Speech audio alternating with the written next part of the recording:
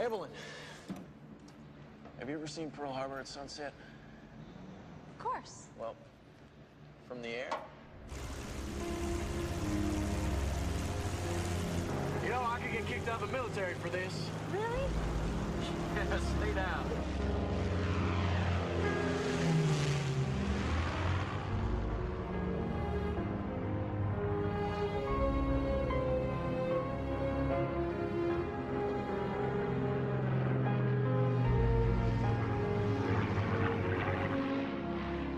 Hawaiians called this harbor Waimomi. It means water of pearls. So beautiful.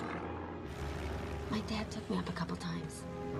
Just don't do what he did. What do you call it when you flip over? A barrel roll? Yeah. Oh.